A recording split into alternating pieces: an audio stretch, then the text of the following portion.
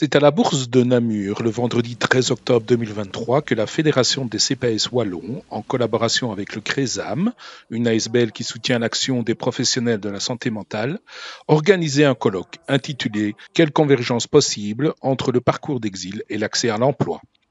Et ce, dans le cadre du programme Famille 43, créé pour soutenir les travailleurs sociaux dans leur travail de compréhension et de création de liens avec des personnes primo-arrivantes ou d'origine étrangère.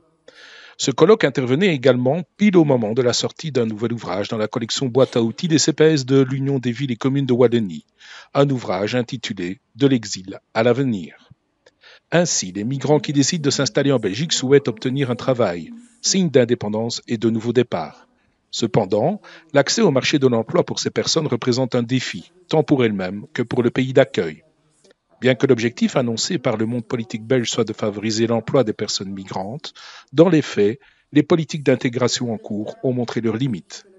Les travailleurs sociaux des CPS et du réseau associatif sont bien évidemment au cœur de ces enjeux complexes. Au travers de cette journée d'études, les participants ont été amenés à réfléchir et à augmenter les possibilités des travailleurs sociaux pour qu'ils puissent, mieux encore, favoriser l'insertion socio-professionnelle des migrants qu'ils accompagnent.